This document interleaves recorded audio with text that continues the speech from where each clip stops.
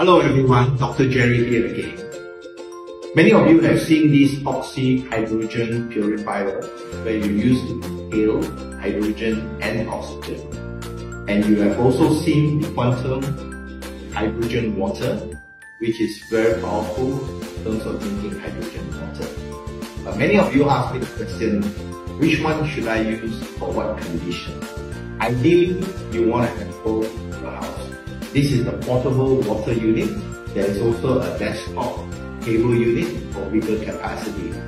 Now, the reason why we have this oxy-hydrogen purifier, which is FDA registered, is when you have respiratory type problems, whether it's lung, heart, even your ears and your liver, these are the issues that's involving with high inflammation.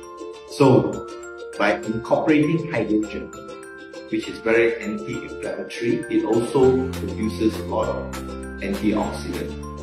Now, due to the COVID crisis, this mixture of two-thirds hydrogen and one-third oxygen became a trial unit in China where they tested 500 over patients over 32 medical centers. You can read the study by Professor Song, who is a pulmonary lung specialist. They found that by breathing and inhaling this gas mixture, all the symptoms of COVID started dropping within almost immediately and recovery much faster. Alright? And for those cases where they have lung lesions, it was gone in five days. So this is an amazing result of using this. But you can use this also as preventive measure.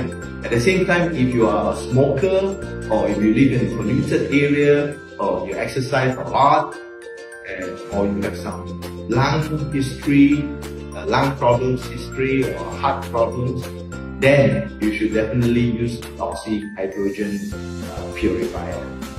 If you you can also unplug this and just plug in the single tube for hydrogen, whereby you can use the goggle to prevent free radical damage on your eyes, to improve your eyes.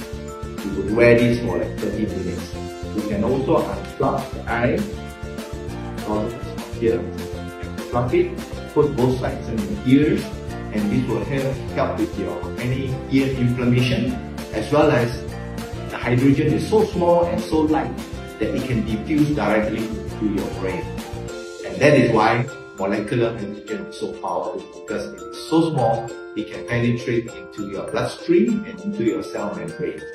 Now you use the water because obviously you need cell hydration and hydrogen water with quantum energy is the best to penetrate to the cell membrane, through the cell membrane, through your blood-brain barrier, so that it can nourish, detox individual cells provide the necessary circulation. Very important also is in our body, there's naturally about 10% of hydrogen produced by fermentation in our gut of carbohydrates and sugar. So with this, it will help with the hydrogen production, which is required for your ATP cellular energy.